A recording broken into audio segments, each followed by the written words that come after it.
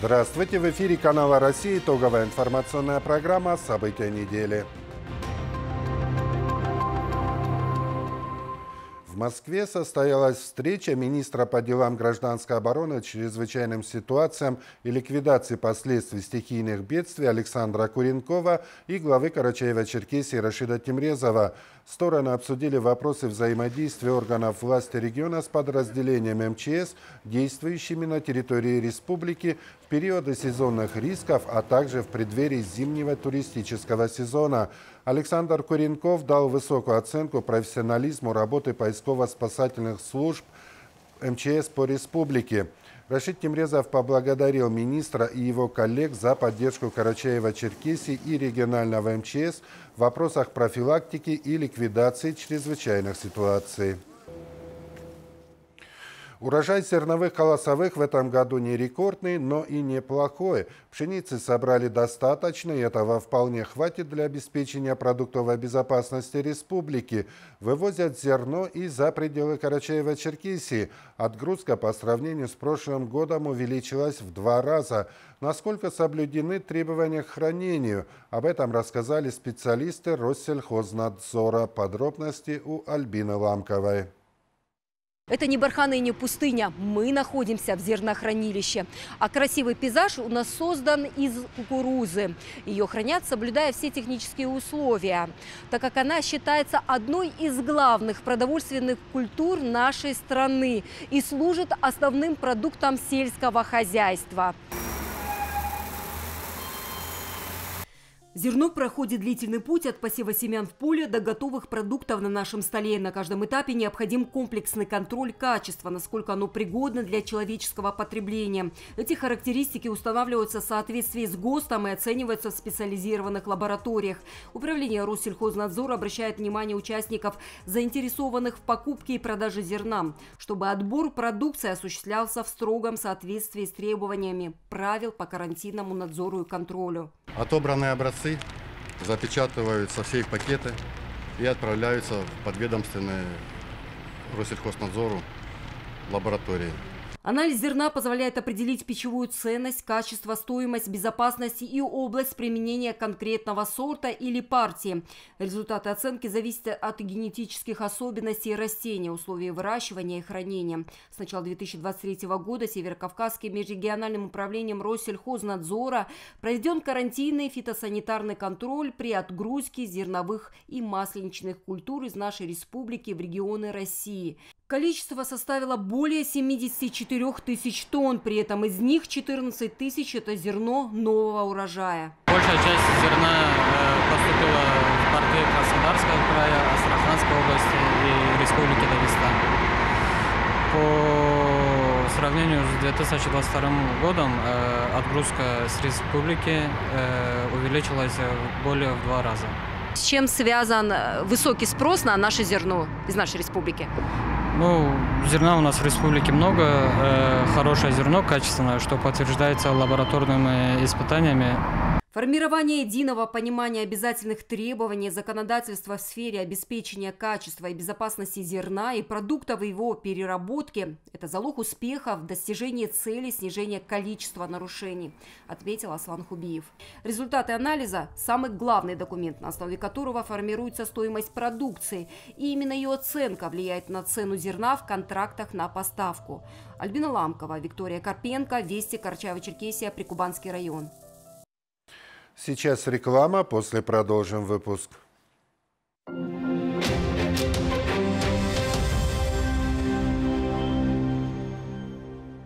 Чавыча, сёмга, красная икра. На рыбной ярмарке «Дары Камчатки» с 25 по 29 октября. Дом предпринимателя, город Черкесск, улица Горького, 8. Современная хирургия катаракты и глаукомы в клинике высоких технологий микрохирургии глаза в городе Ессентуки. Выполняем операции по полюсу ОМС. Ессентуки, Гоголя 80. Экономьте с умом. Качественные окна по низким ценам. Скидка 47%. Замер бесплатно. Оконный комбинат. 8 938 333 92 0. Мебельный салон «Слон». Широкий ассортимент классической и современной мебели для вашего дома. Мягкая мебель, спальни, матрасы, кухни и многое другое. Наличный и безналичный расчет, а также кредит. Черкесск, шоссейная, 167.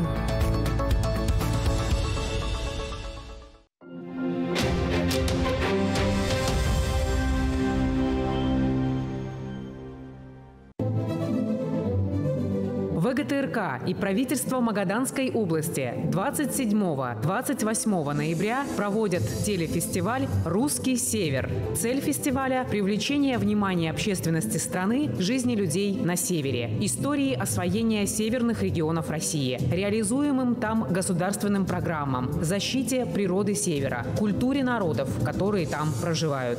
Подробности на сайте вести-магадан.ру. Какие товары выбрать? Выбирайте товары, отмеченные российским знаком качества. Проверено Роскачеством. Покупайте смело.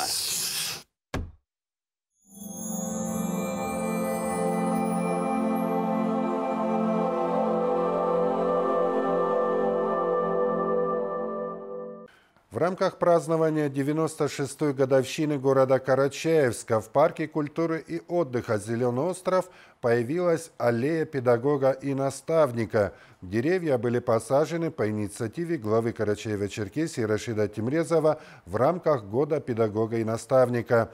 На открытии аллеи побывал наш корреспондент Алихан Лепшоков. Сама идея открытия этой аллеи дает возможность задуматься об истинной значимости учителей и наставников в жизни каждого. В посадке деревьев приняли участие министр образования и науки Карачаева-Черкесии Инна Кравченко, мэр Карачаевска Марат Урусов, председатель региональной организации профсоюза Марина Чутчаева и исполняющий обязанности ректора КЧГУ Талсултан Узденов. Мы надеемся, что это событие напомнит всем нам о важности образования и ценности благородной профессии учителя. Аллея символизирует дань и почесть нашим дорогим учителям а, в память а, и в поклонение того, что наши учителя являются тружениками на самом деле. Ежедневно они приходят сегодня в школы, любят своих детей, безмерно любят, любят свою работу ежедневно, для популяризации профессии учителя в том числе мы открываем такую аллею в год педагога и наставника, объявленного президентом Российской Федерации Владимиром Владимировичем Путиным. В свою очередь, исполняющий обязанности ректора КЧГУ имени Умара Алиева Таусултан Узденов подчеркнул, что появление аллеи педагога и наставника имеет особую значимость. И отрадно, что именно здесь, в парке Зеленый остров, появится эта аллея, которая будет символизировать титанический труд педагога, подытожил Таусултан Узденов сами ростки дерева, они олицетворяют те знания, ту доброту, которую вкладывают наши педагоги в наших детей. И они видят потом их плоды и радуются. Больше, большей радости для педагогов, для э, работы учителя нет. И вот эта э, аллея памяти, которая олицетворяет труд педагога-наставника, будет э, всем, кто здесь будет проходить, напоминать об этом, как они будут цвести. И точно так же, как знания э, и доброта, которая будет вкладываются нашими педагогами в молодые души наших ребят. После все гости мероприятия посетили выставку, представленная кафедрой декоративно-прикладного искусства и дизайна КЧГУ, связанная с культурой и традициями народов республики. Алихан Лепшоков, Аслан Гирюгов, Вести Карачаева-Черкесия, Карачаевск. Карачаева-Черкесия присоединилась к всероссийскому марафону донорства костного мозга и крови «Давай вступай», об актуальности проблемы рассказал приехавший в нашу республику Артем Алискеров, который в рамках акции совершает марафонские забеги в каждом регионе участники. Подробности в сюжете нашего корреспондента Артура Мхце. Более семи десятков регионов уже стали участниками акции, которая призвана напомнить о проблеме с донорством костного мозга. Сегодня к марафону «Давай вступай» присоединилась и Карачаево-Черкесия. Артем Алискеров – гость нашей республики можно сказать, лицо всероссийской акции и благотворительного фонда «Вторая жизнь». Ему тема очень близка, а в рамках проекта Артем уже совершил более 50 марафонских забегов. Это максимально моя история, потому что в 2019 году мне поставили диагноз острый лимфобластный лейкоз. Я прошел 31 курс химиотерапии. И ну, мое лечение длилось практически три года, но мне донор не потребовался. То есть врачи боролись за мой костный мозг успешно. Но со мной лежали в палате два человека, Андрей и Саид, э, Саид из Дагестана, которым э, нужны были доноры. Самое удивительное, что Андрею в России нашлось 4 человека. Это фантастический показатель. Все отказали. Ну а Саиду по всему миру не нашли. После этого при непосредственном участии благотворительного фонда и появилась идея, как лучше всего заявить о проблеме и увеличить число желающих стать донорами костного мозга.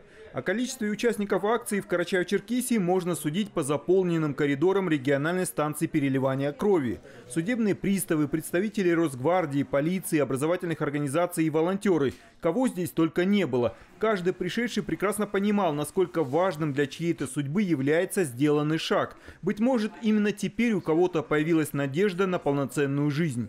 Полторы тысячи человек нуждаются ежегодно в трансплантации гемопоэтических стволовых клеток и только 0,1% жителей а, России вошли в регистр доноров костного мозга. И поэтому а, сегодня, придя сюда и став донором, это означает дать шанс на жизнь этим людям. Для чего вообще это все нужно?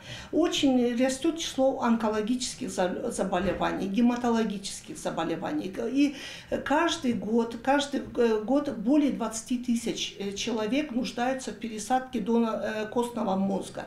И многие, к сожалению, не доживают до этого момента. Для того, чтобы вы поняли цифры, сейчас у нас в регистре, в федеральном регистре более, немногим более 200 тысяч людей. При этом в аналогичной базе Германии таких 9 миллионов человек, а в Соединенных Штатах 11 миллионов. То есть у наших медиков значительно меньше возможностей спасти тех, кому нужна срочная пересадка костного мозга. В федеральный регистр могут вступить все желающие. Достаточно сдать 2-3 миллилитра крови. Акции в поддержку донорства костного мозга проходят во всех регионах России. Среди участников известные в различных сферах деятельности люди. Мероприятия продлятся до 10 ноября. Артур Мухце, Виктория Карпенко, Вести, Карачаево-Черкесия. В рамках межрегиональной программы «Большие гастроли» в Черкеске состоялся показ спектаклей Русского театра драмы и комедии «Калмыкии». Зрителям нашей республики артисты привезли две сказки «Незнайка» и сказ про Федота Стрельца «Удалого молодца». В ходе пресс-конференции артисты ответили на вопросы нашего корреспондента Дарьи Тендит и рассказали о красочных запоминающихся моментах. Ваш театр в рамках межрегиональной программы «Большие гастроли» получил массу положительных отзывов от зрителей. Расскажите про ваш театр. Наш театр, э, в принципе, молодой. Он был создан в 91 году, ну, уже в прошлом веке. Ну, ему вот недавно исполнилось 30 э, лет.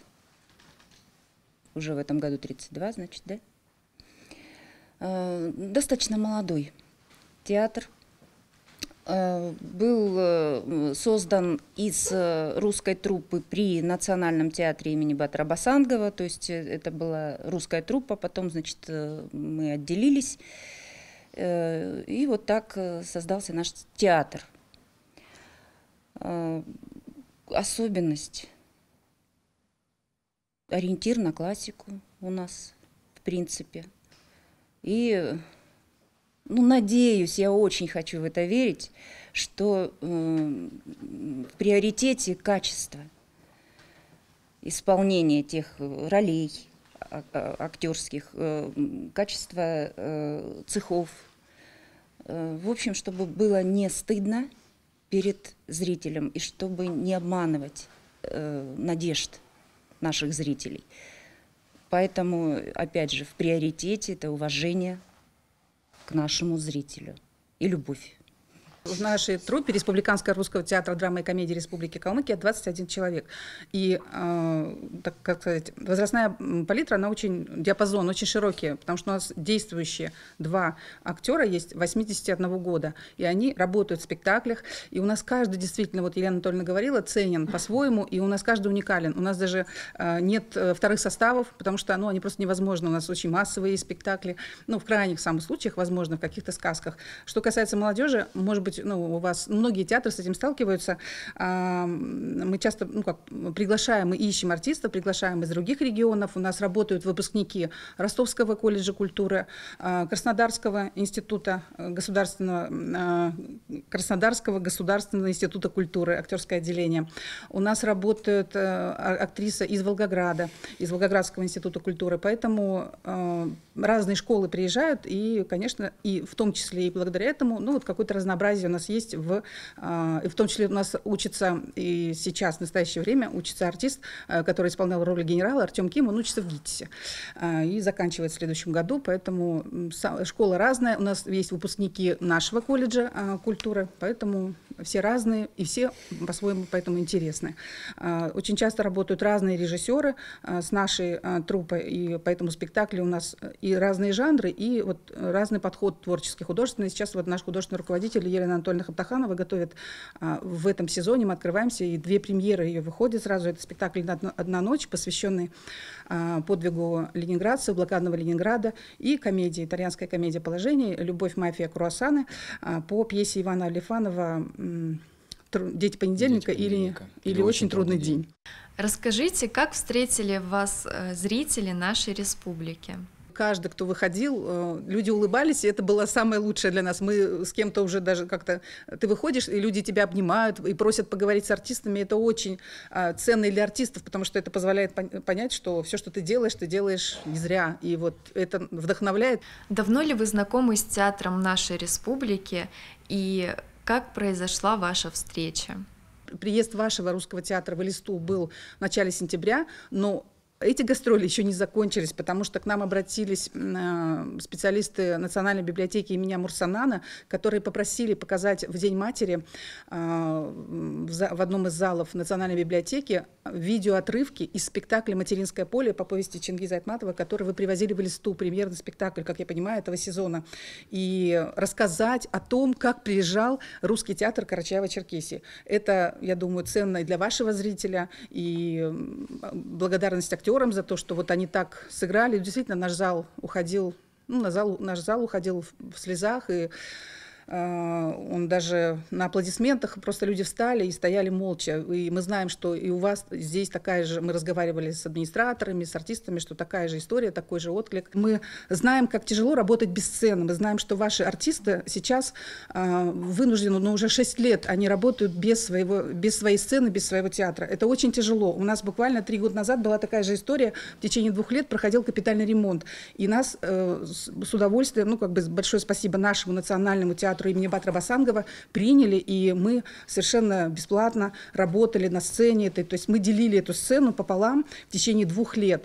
И это очень, ну, это какая-то нормальная и дружеская история, это Министерство культуры поддерживало. И пока шел наш ремонт, а, ну, все, все ждали возвращения в родной дом, потому что это своя сцена, гримерки, это зритель, который хочет прийти именно к тебе. И когда даже сегодня наши ребята ходили а, увидеть, потому что очень величественное, большое здание вот, э, театра вашего, огромное, да, и такой исполнитель исполин стоит, но пока он как бы одинок, но мы верим, мы очень ну, желаем этого артистам, что они обретут свою сцену, свой дом, потому что проходит, ну, жизнь идет, идет твой возраст актерский и твои роли, да, и когда ты хочешь то, что можно сделать дома на родной сцене, не всегда возможно это сделать там, ну, на другой, да, когда ты приглашен, когда ты в филармонию пришел, какие-то дни отыграл, и все. Поэтому мы очень-очень желаем артистам обрести свой дом красивый, и, конечно, думаю, что Министерство культуры Карачаева-Черкесии в этом поддержит своих родных артистов.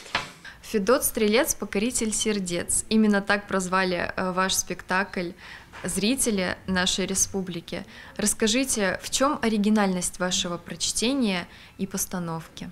Ну, это скорее как как раз вопрос, наверное, не ко мне, а к тем зрителям, которые так назвали. Ну, мне, я только единственное могу сказать, что очень приятно. Когда мы слышим это название, э, сразу что приходит? Леонид Филатов, да, это вот его моноспектакль, который был записан, там, я не знаю, в прошлом веке, наверное, еще, да, в 90-е какие-то годы, когда вот вышла это его в печать она вышла, эта сказка. Э, и потом на телевидении все мы очень с большим удовольствием и смеялись. И, то есть это, это был, было остро. тогда. И, конечно, вот это прочтение, переложение на музыку, это пришло вообще в голову сначала Аркадию Наминовичу Манжиеву, композитору, нашему герою э, Калмыкии, которого, к сожалению, уже нет. Вот полтора года назад его не стало, очень рано он ушел, но очень талантливый и тоже как бы для Калмыкии уже легендарная личность. Ему пришла в голову такая идея, он написал э, и назвал это мюзиклом, хотя есть э, вопросы, есть э, сомнения, так ли это. По-разному называют. Музыкальным спектаклем называют. Называют даже вчера, по-моему, нам сказали, что это оперетта у вас. Но мы привыкли называть так, как назвал э, автор. Он назвал это мюзиклом. И мы тоже называем это мюзиклом, нашим мюзиклом. Э, вот и он написал музыку, поэтому, конечно, это новое прочтение – тоже было несколько интересных моментов. Опять же, как я как зритель наблюдала, но наблюдала и за зрителем в том числе. А вот вместе с Еленой Анатольевной мы так, э, ну, нам было интересно э, на реак, увидеть реакцию зрителя, и некоторые эпизоды вызывали э, особый интерес или аплодисменты. То, что не, ну, у нас никогда, например, в каких-то местах не было аплодисментов. Или мы возили в прошлом году этот же спектакль вот в Волгоград, возили э, в Майкоп, э, в Республику Адыгея и в Махачкалу, в Республику Дагестан. Где-то э, некоторые эпизоды казались слишком острыми. И, например, дети, Поцелуй именно дети, да, э, кадеты приходили, и для них, у них вызвало возмущение в Махачкале, почему же э, насмехаются над генералом. Ну, хотя, казалось бы, это герой, часто герой сказок, и всегда э, бывает так, особый такой герой с особым складом ума, да, над которым почему бы из сказки и не посмеяться. Ну вот, то есть, э, действительно находились какие-то особенности. Здесь, например, э, да, поцелуй и вызывал какое-то ну, волнение в зале. То есть если это пришли дети, которые мы понимаем, это старшеклассники, которые пришли по Пушкинской карте э, и трепетали, да, и кто-то закрывал глаза. И то, что у нас, например, ну, мы смотрим дома, наш зритель смотрит, не реагирует, здесь реагирует. Или, например, танец с платками, голубицы, когда у нас выходят, и это тоже зритель. А мы это поняли в первый же день, когда просто шли от гостиницы к филармонии, потому что очень много магазинов, которые продают платки. Это особый э, элемент костюма, женского, да, и свадебного костюма. Поэтому, когда вышли наши горлицы с платками, это тоже вызвало аплодисменты, да, хотя обычно это танец вроде бы как будто переход. Э, когда мы показывали в других регионах, здесь это была особенная тема, и тем приятно. Сегодня даже а, вышла студентка колледжа, и в финале пожала руку. Э, у нас на, на авансцене э, сидит автор, ну, артист, заслуженный артист Республики Калмыкия Санал Царенов, и она вышла и поняла, что это, наверное, ее шанс вот как-то выразить лично лично благодарность, она вышла. Люди бывают стесняются и не готовы даже ну, оформить как-то свой зрительский отзыв, ну как-то поговорить, да, когда выходишь и просишь записать какой-то отзыв для соцсетей. Но она с удовольствием пожала руку и сказала много добрых слов. И даже после мы прошли за кулисы, и наши скоморохи, она обнимала наших скоморохов, говорила спасибо, потому что для нее, вот она говорит, я теперь всем скажу, чтобы все пришли и посмотрели ваш спектакль. Так что наверняка нам придется еще приехать. Также в рамках программы «Большие гастроли» вы показали нашим юным зрителям спектакль «Незнайка». Какую реакцию вы получили от них? А, поскольку спектакль очень интерактивный, и зритель у вас все равно в каждом регионе особенный зритель, есть свой колорит, да, особый. И в Национальной Республике, особенно в такой темпераментной, да, очень горячий, юный зритель, они так реагировали на некоторые вещи, которые мы даже не ожидали. Это было неожиданно. Например, у нас, эм, когда идет эпизод такой, когда Незнайка вместе с поэтом Цветиком пытается найти рифму к слову «пакля», обычно все сидят, ну, как бы думают, и там какой-то анализ, что-то происходит, учителя подсказывают. Здесь дети сразу же сказали «сакля». У них не было вообще никаких сомнений, что рифма существует. А у нас-то по сюжету рифмы нет. Ее надо папакля, мамакля. И то есть это, был, ну, это было очень забавно. И когда, а, опять же, Незнайка придумывает дразнилку про Знайку и говорит, что... Знайка пошел гулять на, на речку, речку, перепрыгнул через овечку. Да. Оказалось, что, в общем-то, это не дразнилка, это нормальная какая-то история, да. И это тоже для нас было удивительно. И еще в этом спектакле очень много интерактива. А, то есть там такие эмоциональные качели, актеры, э, э, э, ну, каждый эпизод нужно поиграть со зрителем, и очень трудно потом зрителя собрать внимание. Оказалось, это прям, ну, было таким преодолением, наверное, даже для артистов, потому что зритель готов был играть, готов был поддерживать во всех шалостях Незнайку, то есть они скандировали Незнайка, Незнайка, майка. Это была такая ощутимая, горячая поддержка. Это был интересный опыт, я думаю, для артиста. По да. крайней мере, из зала мы наблюдали и видели, как это по-разному происходит. А сложно ли было перевоплотиться и что нужно для того, чтобы вот, показать полную отдачу зрителям, чтобы зрители поверили? Ну, во-первых, Федот, он уже более, ну, как такое плохое слово, обкатанный уже. Он более часто репетиру, репетировался, да, игрался, не знаю-ка чуть меньше, но все равно как бы пока мы его репетировали, выпускали, а, уже можно было там, в принципе, ну как бы у спектакля такая нехитрая специфика, как бы, как, как мы так шутку называли, такой канал «Карусель», то есть для детей а, максимально, ну, такие кукольные ротики такие, как, как говорил режиссер, но при этом, да, не пропуская там оценок, все как бы, ну, все как положено.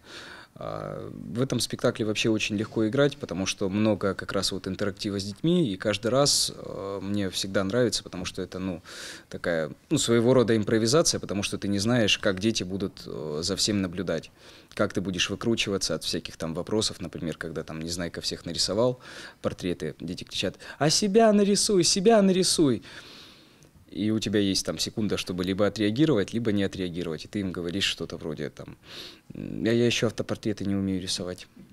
Идите, Получается есть... полное слияние э, зрителей. Очень, очень полное слияние. Дома меня чуть не разорвали в одном месте.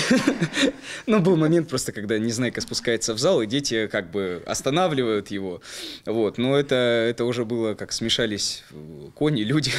вот. Все смешалось. Э, ну, конечно, это шутка. Ну да, полное слияние, потому что дети, ну, Здесь особенно, кстати, вот дети, я не знаю, мне очень понравилось. Несмотря на то, что а, ну, где-то шумно там было, где-то приходилось перекрикивать, но с детьми можно было договориться.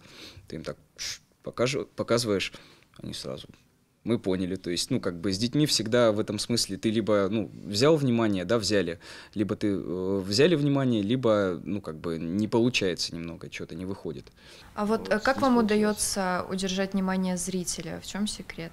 Ну, это, знаете как, это, это не секрет, это, ну, в принципе, как бы актерская работа, да, она, она такая и есть. То есть это какие-то крючки, да, заманивание такое различными способами. Ну, способов может быть сколько угодно, у каждого они свои. Кто-то там, не знаю, каким-нибудь там жестом берет, там, пластикой, да, голосом. Э, способов воздействия много. Э, я, я не знаю, чем мне удается брать, не знаю. А сколько времени занимает э, театр в вашей жизни и хватает ли время на личную жизнь? Ну, сейчас, на самом деле, театр занимает, ну, не так много времени, как э, вот во время обучения в институте, потому что в институте это, ну, каторга это там плохое слово, это с 8 до 8 ты в институте, у тебя может быть там по три пары актерского, две пары сцен движения, там танца, потом вы остаетесь, репетируете какие-то там этюды туда, туда, туда, что-то придумываете, причем мастер говорит, завтра жду от всех этюды. Тебе нужно себе придумать этюд, еще где-то там поучаствовать у других потом сделать там домашку туда-туда, прийти домой, а в институте нельзя оставаться всю ночь, там у тебя есть только час, одна аудитория там, где вас там куча. И вот в таком сумасшедшем ритме, ну, как бы это тоже такая своего рода закалка, чтобы, ну, многие думают, что вот учиться на актеров это очень легко, это весело, это весело, но уже потом, когда ты, ну, как бы влился вот в этот режим и ты просто, ну, как бы приобретаешь такое важнейшее качество, как стрессоустойчивость. У нас часто бывает такое, что, ну, как бы, ну, многие не выдерживают. Мы работаем в целом очень щадяще. У нас э, сейчас, ну, как бы есть две репетиции, да, две точки по, там, ну, три часа. Бывает продленкой работаем. Бывает, ну, третий вызов. Бывает, мы там играем спектакль, репетиция, там еще одна репетиция. Но в целом, вот честное слово, это не сравнится с тем, что было в институте. Потому что в институте тебя нагружают максимально, чтобы ты потом уже знал, что, ну, как бы тебе ничего не страшно, тебя закаляют. Вот. Ну, тем более, когда это тебе приносит удовольствие, это твоя работа, потому что без удовольствия, ну, зачем тогда работать в театре? Это, ну, сумасшедшая просто работа, ну, бессмысленная с точки зрения нормального человека. Расскажите, вот э, какие итоги можете подвести в завершении сезона и какие цели и планы на будущее время? В завершении наших обменных гастролей мы можем сказать, прежде всего, следующее, поблагодарить, на самом деле, этот большой а, проект а, Росконцерта, который реализуется Министерством культуры Российской Федерации. Мы отработали, и как бы сегодня мы уезжаем домой. Послезавтра у нас э, на нашей сцене, то есть мы открываем э, наш новый сезон, открытие сезона, поэтому мы едем прямо как бы сразу в новую работу. Все театры сейчас идут в новый сезон. Мы тоже через послезавтра открываем новый сезон, поэтому всем больших успехов. Республике большое спасибо за теплый прием. Приходил ваш министр культуры и так пообщался со сцены с детьми и поблагодарил нас и мы и за то, что как мы, мы принимали, что мы приехали. Мы были, конечно, очень рады тому, что а, министр нашел время в своем плотном графике в середине рабочего дня приехать на наш спектакль. Это очень-очень ценно и приятно. Всем большое спасибо. Прекрасной осени, крепкого здоровья, удачи, творческих удач, побед и всего самого доброго. Большое вам спасибо за то, что уделили нам время и ответили на наши вопросы. До свидания. Такими событиями отмечена уходящая неделя. Хорошего вам настроения и всего доброго.